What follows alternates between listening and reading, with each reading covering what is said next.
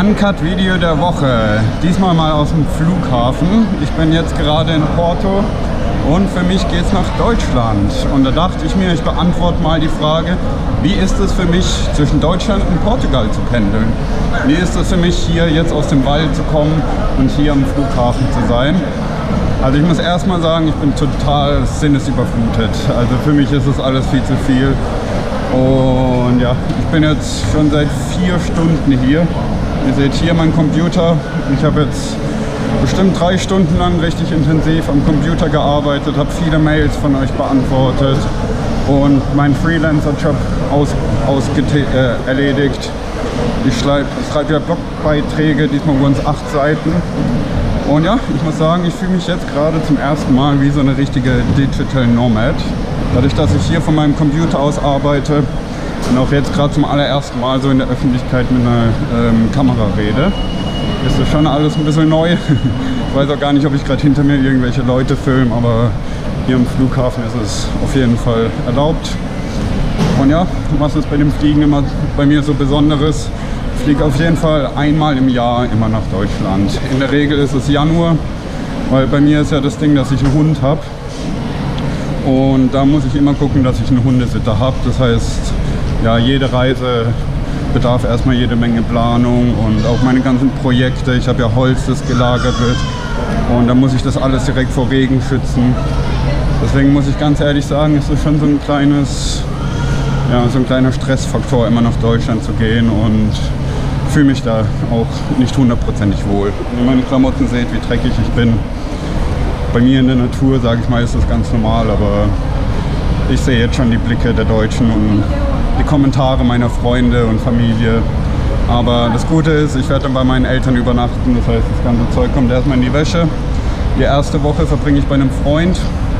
Und insgesamt bleibe ich zwei Wochen in Deutschland. Das heißt, auch wenn ihr dieses Video jetzt gerade seht, bin ich schon in Deutschland. Und muss gucken, wie ich das jetzt auch mit dem ganzen Content mache. Ich habe auf jeden Fall viel vorgefilmt. Aber ich muss sagen, ich fliege nach Deutschland, um meine Familie zu besuchen und nicht um zu arbeiten. Deswegen bin ich mal gespannt, wie das alles funktionieren soll. Ich werde jetzt die erste Woche auf jeden Fall mal arbeiten, also physisch ähm, auf einer Baustelle. Und das heißt, dort werde ich auf gar keinen Fall Zeit haben, irgendwie was zu drehen, zu filmen oder, oder sonst was. Diesmal habe ich wenigstens meine GoPro mitgenommen. Das heißt, eventuell erwartet euch ein Vlog. Aber ich habe mein Auto abgefilmt und einige Sachen, die ihr dann ähm, zu sehen bekommt.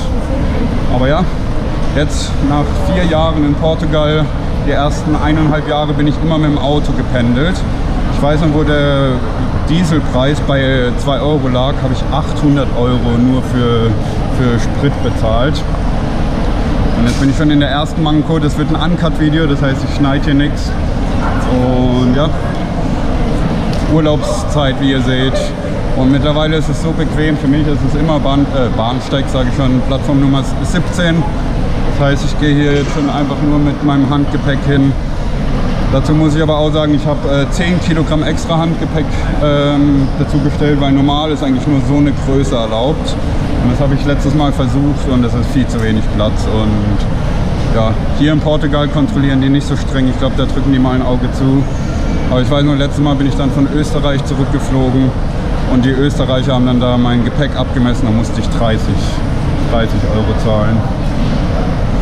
Und ja, das heißt auch in den zwei Wochen, wo ich jetzt äh, in Deutschland bin, muss ich sagen, einmal ist es für mich sehr entspannt, bei meinen Eltern zu sein, keine Sorge mehr zu haben über meinen Hund, ob ich genug Essen habe und so weiter. Also das wird jetzt auch eine Art Urlaub für mich, aber nur eine Art, weil ich werde auch in Deutschland arbeiten. Und jetzt gucke ich nach einem schönen, ruhigen Platz, wo ich mich hinsetzen kann, dieses Video hier uploade, was ich gerade drehe. Aber ich muss sagen, so voll wie jetzt war es noch nie. Die Preise hier sind auch ja, viel, viel teurer wie der Standard in Portugal, aber ich würde sagen immer noch billiger wie in Deutschland. Ich habe einen Kaffee vorhin bestellt. ein normaler Kaffee hier ist eigentlich wie ein Espresso. Aber ich habe dann wollte einen normalen haben, einen Americano und dann stand da sogar XL und da habe ich mir einen XL Kaffee geholt und es war ein ganz normaler Kaffee wie in Deutschland. Aber selbst hier im Flughafen nur 1,50 Euro. So beim Bäcker hier in Portugal zahlt man für einen Kaffee nochmal 70 Cent. Das heißt, da bin ich noch recht froh. Wenn ich in Deutschland lande, wird dann alles ganz anders sein. Ich glaube, da kostet dann Kaffee direkt mal 3 Euro. Aber ich freue mich auf jeden Fall schon auf eine Brezel. Auf eine schöne Butterbrezel. Das werde ich mir eventuell als erstes kaufen, wenn ich da bin. Und natürlich Döner. Für mich ist Deutschland immer noch das Dönerland Nummer 1. Also ja, bin ich mal gespannt, wie ich mir das alles finanziell leisten kann, weil ich will jetzt auch nicht all mein Geld direkt wieder in Deutschland ausgeben. Bestenfalls komme ich dann doch mit 1, 2 Euro zurück. Und ja, jetzt fühle ich mich gerade schon extrem beobachtet, weil ich, mir fällt gerade auf, ich laufe gerade die ganze Zeit im Kreis. Aber ja, so ist es. Das ist Porto Flughafen. Und bevor ich jetzt hier irgendwelche langweiligen Mist erzähle, beenden wir das.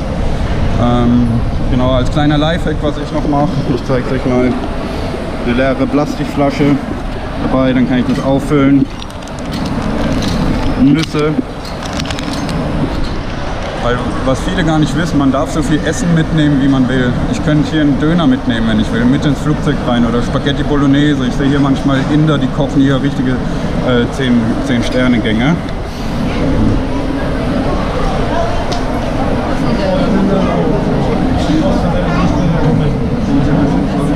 was ich auch interessant finde, sind die Automaten hier. Das sind alles so typisch portugiesische Produkte, beziehungsweise die es hier gibt. Ruffles und diese Mini-Baguettes. Ja, ihr seht ja auch ein bisschen die Preise. Vielleicht interessiert es den einen oder anderen. Aber ja, so viel zum Update, wie es für mich ist, immer nach Portugal und Deutschland zu pendeln. Und dann sehen wir uns bald wieder. Hinterlasst gerne ein Like, ein Abo, dann erfahrt ihr mehr und dann sehen wir uns bald. Euer Robin.